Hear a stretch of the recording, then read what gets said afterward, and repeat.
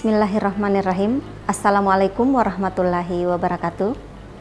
Perayaan Bulan Bahasa dan Sastra tahun 2021 diselenggarakan secara daring karena masih dalam situasi pandemi COVID-19. Dalam rangka menyemarakkan Bulan Bahasa dan Sastra tahun 2021, Kantor Bahasa Provinsi Sulawesi Tenggara melaksanakan program Menjalin Indonesia dari Sulawesi Tenggara yang dikemas dalam diskusi tentang eksistensi sastra lisan Tolaki di era globalisasi. Melalui kegiatan ini kami berharap agar tujuan pelaksanaan Bulan Bahasa dan Sastra ini dapat tercapai, yaitu pelestarian semangat persatuan Sumpah Pemuda, peningkatan sikap positif masyarakat terhadap bahasa dan sastra Indonesia dan daerah, serta partisipasi masyarakat dalam menyemarakan Perayaan kebahasaan dan kesastraan ini dalam bingkai tema Berbahasa Sehat, Indonesia Tangguh. Bahasa adalah cerminan pribadi penuturnya. Yang kurik kundi, yang merah saga, yang baik budi, yang indah bahasa. Selamat menyaksikan program Menjalin Indonesia dari Bumi Anoa, Sulawesi Tenggara. Terima kasih. Wassalamualaikum warahmatullahi wabarakatuh.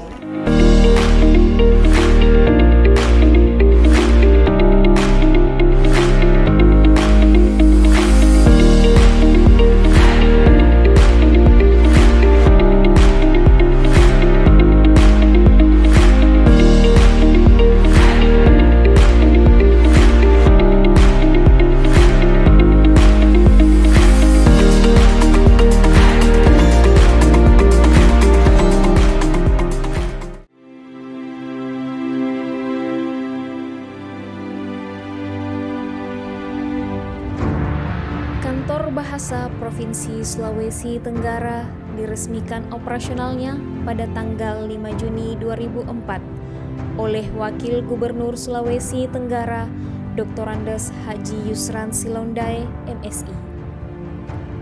Keberadaan kantor bahasa di Provinsi Sulawesi Tenggara merupakan tindak lanjut dari nota kesepahaman yang ditandatangani oleh Gubernur Sulawesi Tenggara Ali Mazi SH dan Kepala Pusat Bahasa Dr. Dendi Sugono pada hari Senin 17 Februari 2003. Pemerintah Provinsi Sulawesi Tenggara di dalam nota kesepahaman tersebut telah membantu menyediakan fasilitas tanah seluas 10.000 meter persegi kepada kantor bahasa untuk pembangunan gedung di Kompleks Bumi Praja Andonohu, Kendari. Awalnya, tempat beroperasi kantor bahasa Provinsi Sulawesi Tenggara berada di salah satu gedung kompleks Taman Budaya Sulawesi Tenggara, Jalan Saranani nomor 193 Kendari. Kemudian, sejak awal tahun 2007 pindah ke kompleks perkantoran Bumi Praja Andenohu Kendari. Peresmian gedung kantor bahasa Provinsi Sulawesi Tenggara dilaksanakan pada tanggal 13 Juni 2008 yang ditandai dengan pengguntingan pita oleh Gubernur Sulawesi Tenggara Nur Alam SE sekaligus penandatanganan prasasti oleh Kepala Pusat Bahasa Dr. Dendi Sugono. Operasional awal Kantor Bahasa Provinsi Sulawesi Tenggara pada tahun 2004 sampai 2006 dipimpin oleh pelaksana harian Dr. Anda Dat Murniah M. Selanjutnya, tahun 2006 sampai 2009, kantor bahasa dikepalai oleh Dr. Andes Harudin. Hum. Setelah itu, tahun 2009 sampai 2013, kepala kantor bahasa dijabat oleh Profesor Dr. Hanna MPD. Tahun 2013 sampai 2015, kantor bahasa dipimpin oleh Haji Muhammad Nasir SHMM yang saat itu sebagai pelaksana tugas. Tahun 2016 sampai 2020, kantor bahasa dikepalai oleh Dr. Sandra Safitri Hanan MA. Tahun 2020 sampai sekarang, kantor bahasa Provinsi Sulawesi Tenggara dipimpin oleh Dr. Herawati SSMA.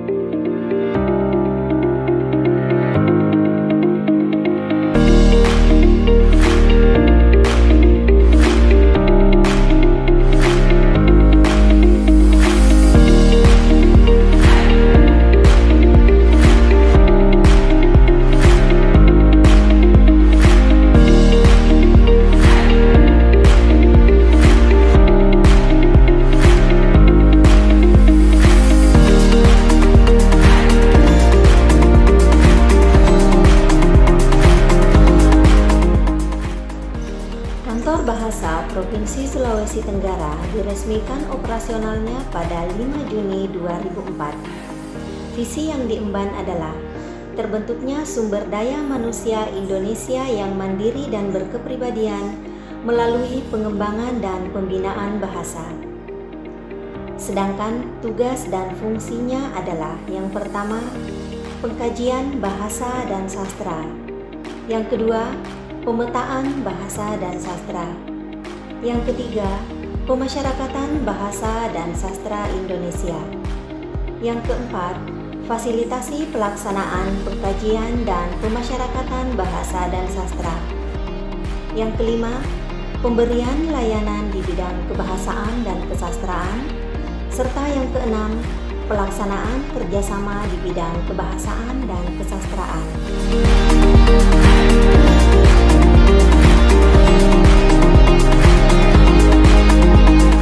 Sesuai dengan Permendikbud nomor 26 tahun 2020 tentang organisasi dan tata kerja unit pelaksana teknis Kementerian Pendidikan dan Kebudayaan.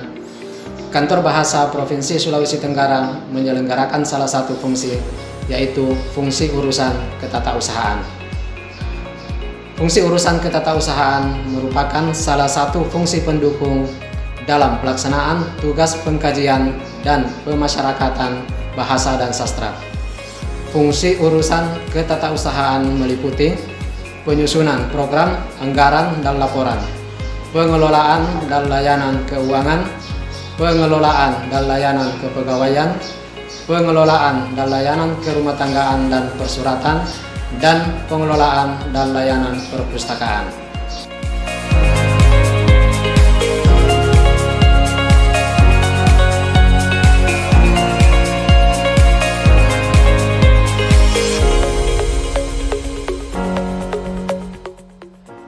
Bidang pembinaan adalah salah satu bidang yang menangani beberapa program antara lain penghargaan bahasa dan sastra, pelatihan menulis, sayembara penulisan,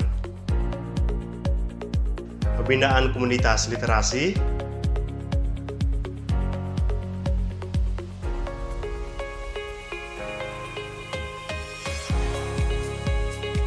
penyuluhan bahasa dan sastra,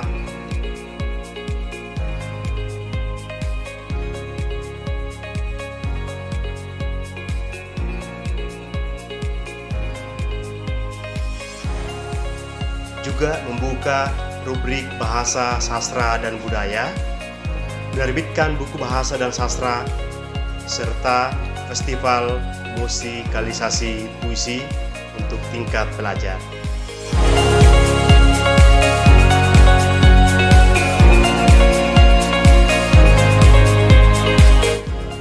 Salah satu visi dan misi Kantor Bahasa Provinsi Sulawesi Tenggara adalah melaksanakan program pengembangan dan pelindungan bahasa dan sastra Indonesia dan daerah di Sulawesi Tenggara.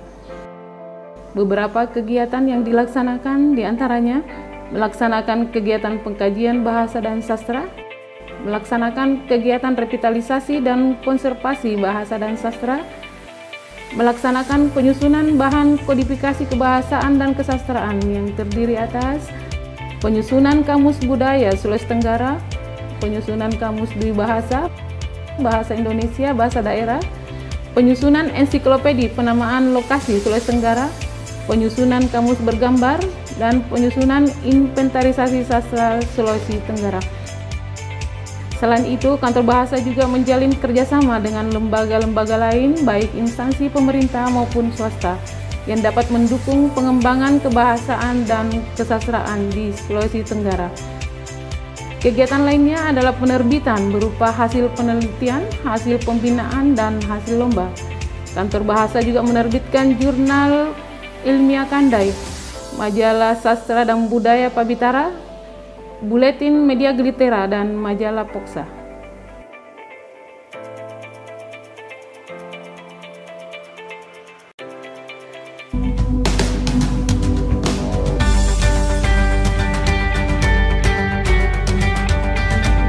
Bismillahirrahmanirrahim. Assalamualaikum warahmatullahi wabarakatuh. Bangsa yang besar adalah bangsa yang menghargai bahasanya. kita punya bahasa Indonesia. Dan di 34 provinsi termasuk di Sulawesi Tenggara ini kita menaruh harapan besar karena salah satu provinsi yang mendapat gelar bahasa.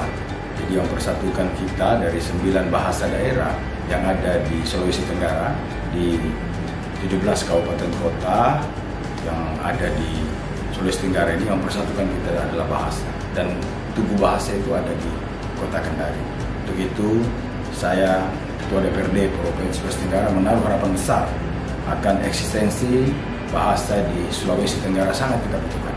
Karena bukan hanya sekedar bahasa dalam yang sempit, ada bahasa sastra, sastra di situ, ada bahasa daerah di situ, dan kajian-kajian tentang bahasa kita untuk bisa mengejawantahkan potensi-potensi yang kita miliki di Sulawesi Tenggara.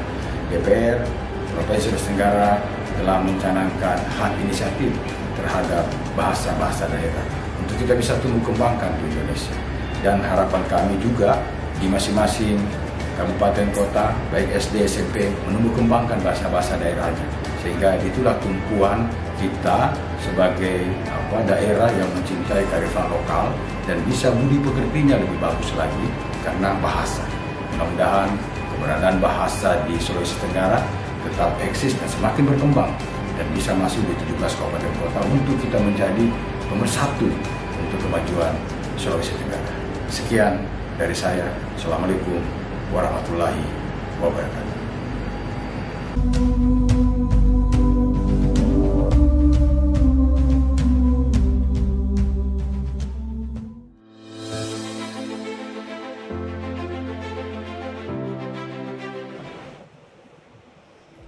Assalamualaikum warahmatullahi wabarakatuh. Shalom, salam sejahtera bagi kita semua. Om Swastiastu, Namo Buddhaya, salam kebajikan. Bahasa Indonesia adalah bahasa pemersatu bangsa. Seiring perkembangan pengetahuan dan teknologi, bahasa Indonesia menghadapi berbagai tantangan yang semakin kompleks. Karenanya, dalam kesempatan ini, saya Irjen Pol Yan Sutra SH, Kapolda Sulawesi Tenggara, menghimbau kepada semua pihak dan masyarakat agar mendukung pengutamaan dan pemartabat bahasa negara dengan cara senantiasa menggunakan bahasa yang santun dalam berinteraksi dengan sesama, baik dalam bermedia sosial maupun dalam kehidupan sehari-hari. Mari kita bersama-sama berperan menjaga situasi Kamtibmas, persatuan dan kesatuan bangsa Indonesia. Wassalamualaikum warahmatullahi wabarakatuh. Om Santi Santi Santi Om.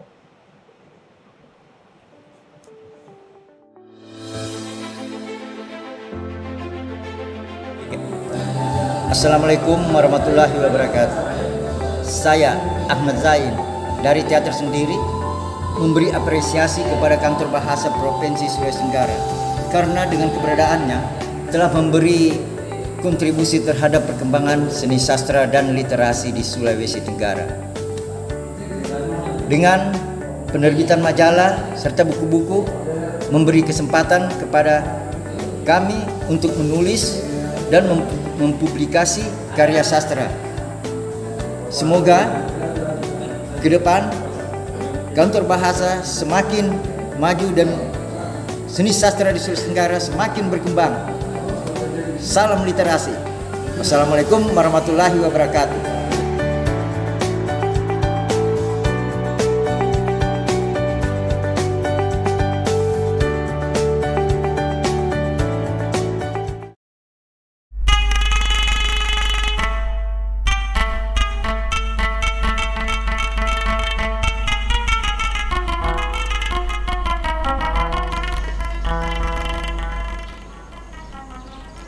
Kegiatan konservasi sastra lisan Tolaki di Kabupaten Konawe adalah salah satu upaya pelindungan bahasa dan sastra daerah yang dilakukan oleh Kantor Bahasa Provinsi Sulawesi Tenggara. Kegiatan konservasi ini dilaksanakan oleh tim pelindungan sastra Kantor Bahasa Provinsi Sulawesi Tenggara. Kami mendokumentasikan sastra lisan Tolaki yang saat ini mengalami kemunduran bahkan ada yang mulai terancam punah. pendokumentasian ini dilaksanakan demi menjaga dan melestarikan sastra lisan Tolaki agar tetap eksis hingga masa mendatang. Sastra lisan merupakan bagian dari kekayaan budaya yang dimiliki oleh suatu daerah. Di dalamnya tersimpan kearifan lokal masyarakat pendukungnya.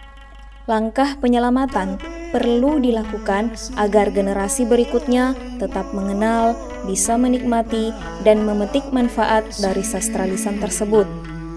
Konservasi sastra lisan dilakukan dengan berdasarkan hasil dan rekomendasi dari penelitian sebelumnya, yakni pemetaan sastra dan kajian vitalitas sastra konservasi sastra lisan diprioritaskan kepada sastra lisan yang kritis atau terancam punah.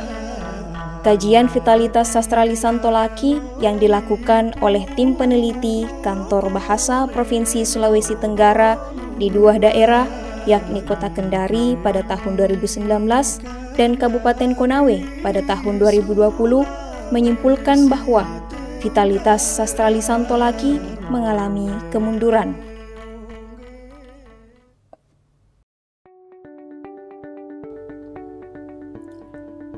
Pada tahun 2021 ini, Kantor Bahasa Provinsi Sulawesi Tenggara telah melakukan konservasi sastra lisan Tolaki dalam bentuk perekaman audiovisual. Empat jenis sastra lisan Tolaki yang dikonservasi adalah Suasua, Kinoho, Tenango, dan Anggo menjadi objek konservasi. Suasua merupakan sastra lisan Tolaki berbentuk nyanyian yang biasanya dinyanyikan dalam berbagai kegiatan seperti menyambut pemimpin atau pemerintah yang berkunjung di suatu daerah atau menyambut kedatangan para tamu pemerintahan, acara perkawinan, dan acara tahlilan.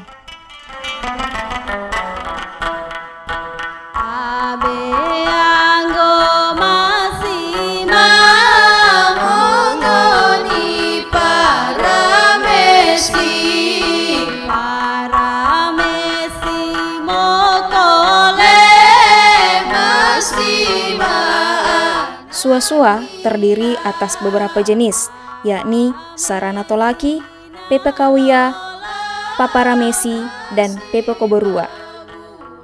Suasua biasanya dinyanyikan secara berkelompok.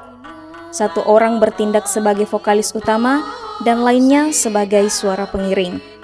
Dahulu, suasua dinyanyikan tanpa diiringi alat musik, tetapi sekarang ini, lantunan sua-sua biasanya diiringi dengan alat musik gambus. Tapi anggo masih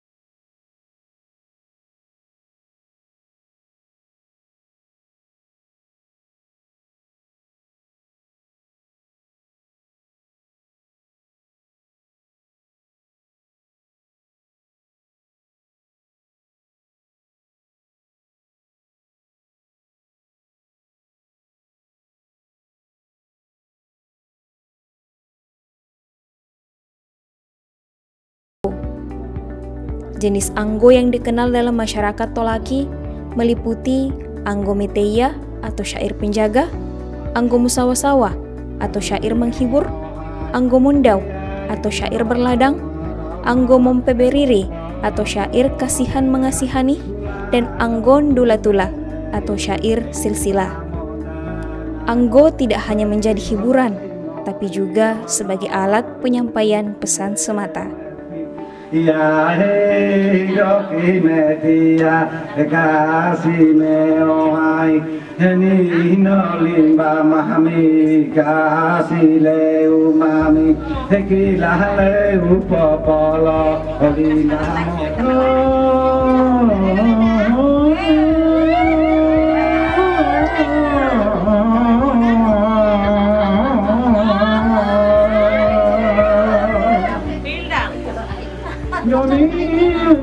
uh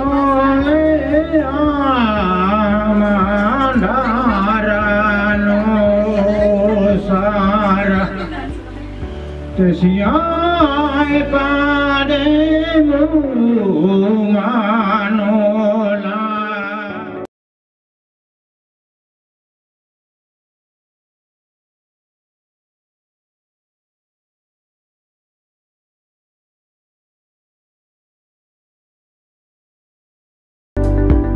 Kinoho atau Lolama merupakan sastra lisan Tolaki berupa pantun Kinoho menggambarkan pujian, cemohan, dan sindiran yang ditujukan kepada seorang lawan jenis di kalangan muda-mudi maupun di kalangan orang-orang tua. Ku nangge to mano kulai ja mau taku me nangge. Mau pe bungku-bungku aku ika dungku-dungku. Mau ko eni eni. Kinoho atau lolama terdiri atas beberapa jenis, meliputi kinoho besadalo atau kinoho anak muda, kinoho agama, kinoho sara atau adat, dan kinoho singgu atau menyinggung atau menyindir. Tak ambong ngoni. Ana dalon de roma roma, lakon de ronga ronga, rumuruhi i rongono, rumuruhi i rangino. Patande ndani wire, punohu ndani atopi pakana salanggopa boku-boku salahu.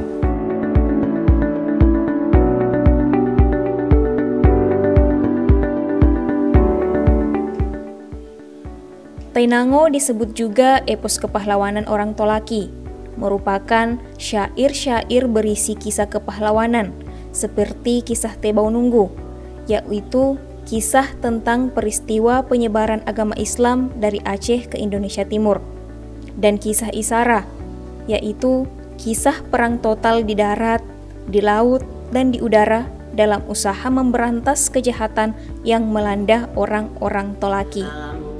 Tainango disampaikan dengan cara didendangkan.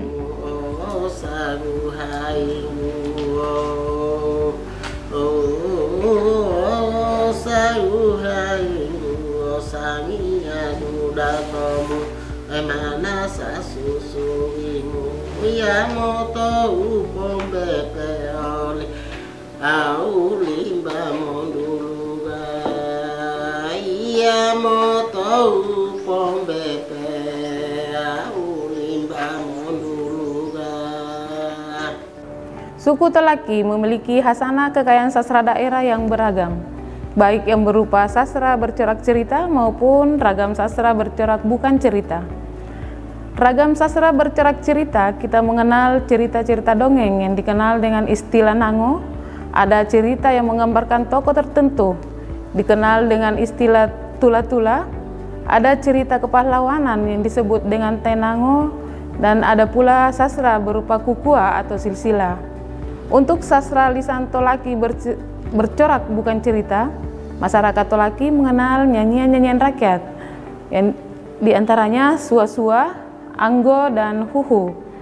Ragam sastra bercerak bukan cerita lainnya adalah Kinoho, Pantun, Odoa Mantra, kemudian Bitaran Dolea, perumpamaan, ada Singguru berupa teka-teki, Bitara Sara, kata-kata persembahan, kemudian kalimat-kalimat bijak yang disebut Peolili dan Kilowu yang berupa moto. Sastra daerah ini tidak hanya menjadi hiburan, tetapi syarat kearifan lokal yang perlu diwariskan kepada generasi muda. Assalamualaikum warahmatullahi wabarakatuh. Alhamdulillah kita bersyukur karya Allah Tuhan Yang Maha Kuasa pada hari ini dalam suasana bulan suci Ramadan kita senantiasa diberikan rahmat barokah kekuatan dan kesehatan kepada semua.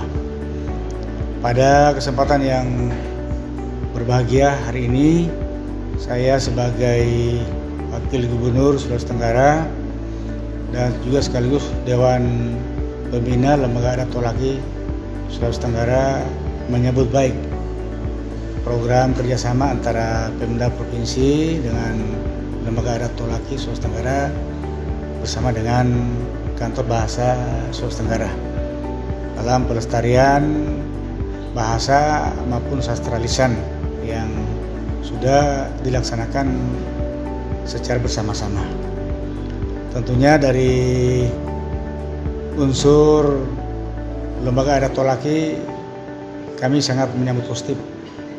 Sudah beberapa kegiatan-kegiatan yang terkait dengan bahasa yang terkait dengan sastra daerah bahasa Tolaki. Pernah diadakan lomba bahasa Tolaki para siswa siswi SMA SMK Sulawesi Tenggara. Ini wujud bagaimana kepedulian kantor bahasa Sulawesi Tenggara untuk pengembangan pelestarian bahasa. Oleh sebab itu, Pemda Provinsi Sulawesi Tenggara dengan berdasarkan Undang-Undang Nomor 5 2011 tentang budaya juga dengan peraturan Menteri Dalam Negeri nomor 57 2014 tentang pengembangan pelestarian bahasa daerah dan juga produk-produk aturan-aturan yang terkait dengan bagaimana untuk setiap daerah kita lestarikan budaya-budaya kearifan lokal.